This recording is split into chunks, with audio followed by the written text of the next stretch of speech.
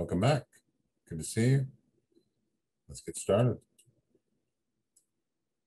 Today, Isaiah chapter 4 Jerusalem's glorious future. And in that day, seven women shall take hold of one man, saying, We will eat our own food and wear our own apparel. Only let us be called by your name take away our reproach.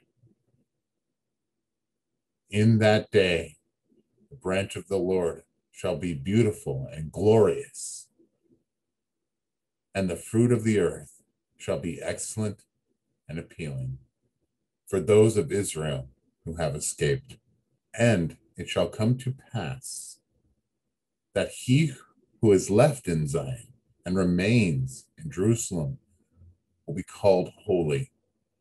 Everyone who is recorded among the living in Jerusalem, when the Lord has washed away the filth of the daughters of Zion and purged the blood of Jerusalem from her midst by the spirit of judgment and by the spirit of burning.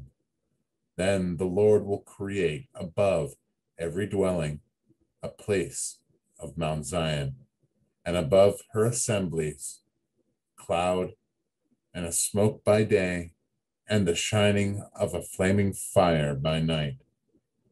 For over all the glory there will be a covering.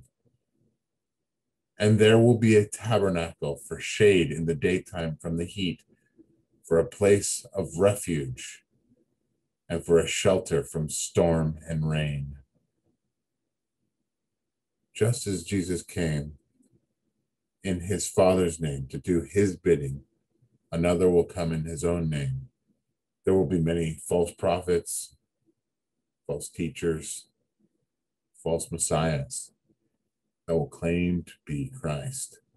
That goes without saying. Jesus himself warned that. So know that you have the real thing. Continue to test every spirit and anxiously await for the day of our Lord. God bless.